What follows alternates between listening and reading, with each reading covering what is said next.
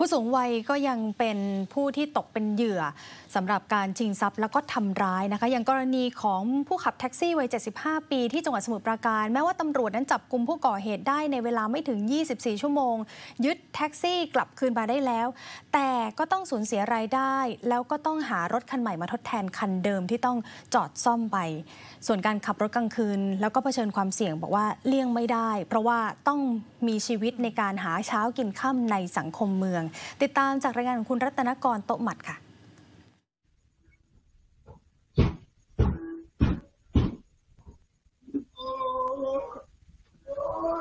แต่ผมก็รู้ตัวเหมือนกันอันที่มันทำผมแต่ผมผิดสังเกตแล้ว แต่ระวังเหมือนกัน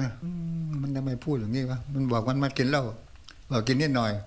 ถ้ากินนิดหน่อยมันก็ต้องมีกลิ่นเหล้าเพอเมื่อวานนี่มาถามเมียมันเมียนบอกว่าเขาเสพยา ยกมือไหว้ขอโทษนะลุงนะ คิดจะเลิกขับแท็กซี่ไหมครับ อยากเลิกครับ ถ้าเลิกแล้วมันไม่มีจะกินนะ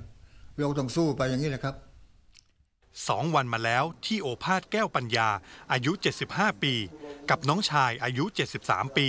ไม่ได้สลับกันไปขับรถแท็กซี่ ต้องใช้ชีวิตอยู่ภายในห้องเช่าเล็กๆ ที่จังหวัดนนทบุรี หากรถแท็กซี่ที่ทั้งคู่ใช้ทำมาหากิน ร่วมกันมากว่า 40 ปี ไม่ถูกชิงไปพร้อมกับเงินสด อีก 6,400 บาท เมื่อวันที่ 26 มิถุนายนที่ผ่านมา น้องชายจะเป็นคนขับแท็กซี่ในช่วงกลางวัน ส่วนโอภาสรับไม้ต่อในกะกลางคืน การขับแท็กซี่จึงเป็นรายได้หลักของทั้งคู่มาครึ่งชีวิต เงินที่ได้ถูกแบ่งเป็นค่าเช่าห้อง ค่าเช่ารถ และโอภาส ยังแบ่งเงินประมาณ 4-5,000 บาท ส่งให้ภรรยาที่อยู่ต่างจังหวัด เมื่อไม่มีรถทั้งคู่จึงขาดรายได้ ไม่ได้ก็ลงทุนครับ เพราะเรามันไม่มีอะไรเลย ถ้าใช้เงินมากก็ไม่มีจะกินเห็นไหมไปบ้านกับลูกเมียกินอะไรพ่อหาเงินได้ไหมเห็นไหมต้องทำเผื่อลูกเผื่อเมียมั่งจะเผื่อแต่ตัวเองลำบากก็ทนเอาครับอย่างมากก็สองหมื่น เดือนหนึ่งลดลงมาลดลงมาแล้วนี่เหลือสี่ห้าพันเอง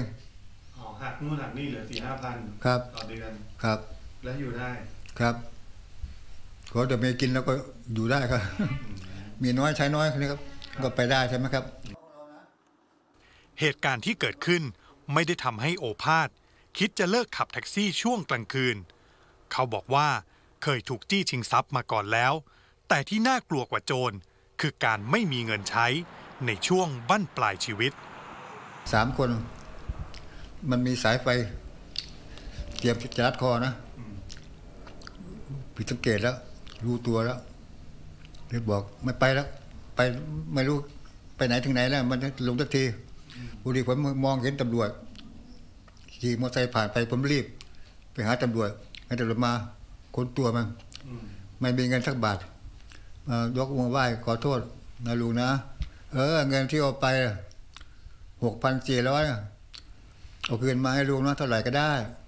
ลุงบอกเขาอย่างนี้แหละครับเขาก็ร้องให้อืมว่าผัวก็เป็นอย่างนี้แล้วได้คืนบ้างยังอย่างเลยครับยังไม่ได้คืนเลยเหรอครับ อันนี้คือเงินที่ทำงานแท็กซี่ด้วยใช่ไหมครับครับเงินกับแท็กซี่นี่แหละอืมหกพันสี่ร้อยโอภาสบอกว่า แม้จะเลือกผู้โดยสารไม่ได้ แต่จากนี้หากพบว่าผู้โดยสาร ที่รับขึ้นรถมา มีพฤติกรรมไม่น่าไว้ใจ จะรีบขอความช่วยเหลือจากตำรวจที่อยู่ใกล้เคียงทันที